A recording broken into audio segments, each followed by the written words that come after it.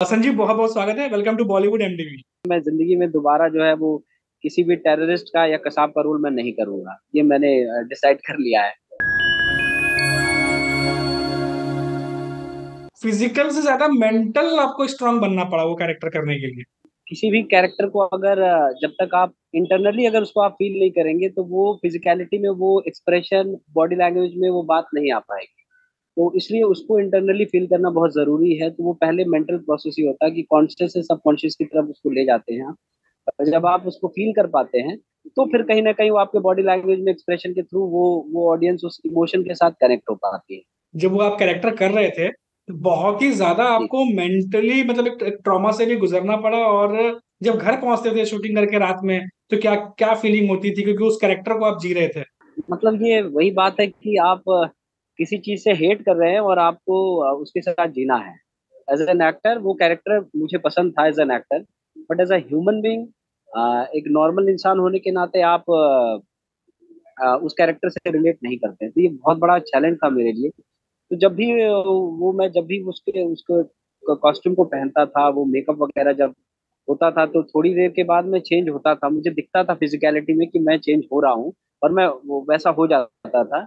But धीरे धीरे as an actor क्योंकि आपको, आपकी पहली फ़िल्म है बड़े लेवल पे तो आपको परफॉर्मेंस भी देना है। आप बहुत ज़्यादा अगर सोचेंगे तो एज एन एक्टर आप बाहर नहीं आ पाएँगे। करियर का भी सवाल होता है। तो मैं इसलिए मैंने कहा कि मैं ज़िंदगी में दोबारा जो है वो किसी भी टेररिस्ट का या कसाब का रोल मैं नहीं करूँगा। ये मैंने डिसाइड कर लिया है।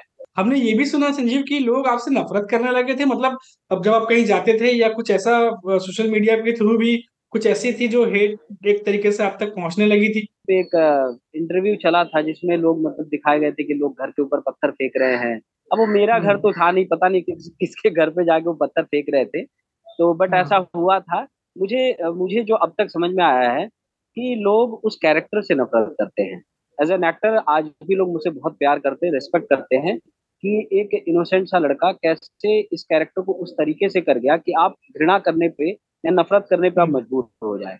तो वो एज एन एक्टर एक अचीवमेंट है मेरे लिए। नाना पाटेकर के सामने परफॉर्म करने में थोड़ा था नर्वसनेस या कह सकते झिझक कुछ था ऐसा? डर था लेकिन क्या होता ना कि जब उस समय मैं चार साल स्ट्रगल कर चुका था काम ढूंढ रहा था और कुछ भी ऐसा कॉन्फ्लिक्ट मेरे पास था नहीं कि जिससे मैं प्रूव कर पाऊँ। तो ये एक अपॉर्चुनिटी था एज एन एक्टर मेरे लिए। अगर मैं डरूँगा तो मैं काम कैसे करूँगा? तो मैंने कहा डर को साइड रखो अभी प्रूव करो अपने आप को और अगर मैं प्रूव कर लेता हूँ तो फिर बाद में सब ठीक हो जाएगा। कबीर सिंह जैसी बड़ी हिट मूवी उसका भी ऑफ़र आया था और आपने वो फ़िल्म नहीं की? उसमें तो खैर मतलब मैं क्या बोलूँ मुझे एक और फ़िल्म मिली हुई थी उस टाइम पे तो डेट का प्रॉब्लम था। दोनों की शूटिंग उसी के आसपास पड़ रही थी। तो इस वजह से मतलब जो जो मैं फ़िल्म कर रहा था वो वो भी बड़ी फ़िल्म थी। मेन रोल में था मैं उसके अंदर और इसमें एक पाइवोटल मतलब एक सिग्निफिकेंट रोल था। तो एज एन एक्टर मुझे जो मेरे लिए बेस्ट लगा वो मैंने चुना।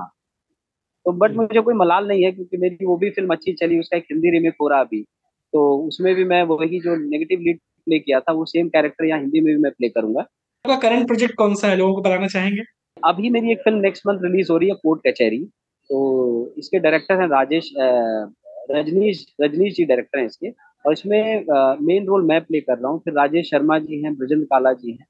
तो इसमें जो मेन प्रोटोगनिस्ट है जिसके ऊपर पूरी कहानी चलती है उसका कैरेक्टर मैं प्ले कर रहा हूँ। दीपक नाम का कैरेक्टर है जो एक ऑटो वाला है। पढ़ा लिखा है नौकरी नहीं मिलती इसलिए ऑटो चलाता है और उसका जो है मर्डर हो जाता है। उस मर्डर को जाँच किया जाता है उसको न्याय कैसे मिलता है इसके ऊपर ये सारी कहानी है। और मैं आपको इतना मतलब मैं आश्वस्त कर सकता हूँ कि जैसे छब्बीस ग्यारह देखने के बाद आप आप लोग नफरत उस कैरेक्टर से आपने नफरत किया था कसाब से। इस फ़िल्म को देखने के बाद इतना मुझे मालूम है कि आप लोग दो तीन दिन तक मेरे कैरेक्टर के बारे में ज़रूर सोचेंगे।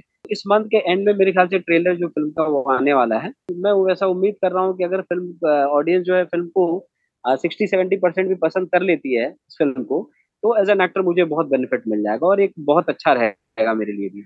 Sanjeev thank you so much हमसे बात करने के लिए और हमारी तरफ़ से ढेर सारी शुभकामनाएँ बेस्ट विशेष आपकी नई मूवी के लिए। थैंक यू सो मच दोस्त। Thank you so much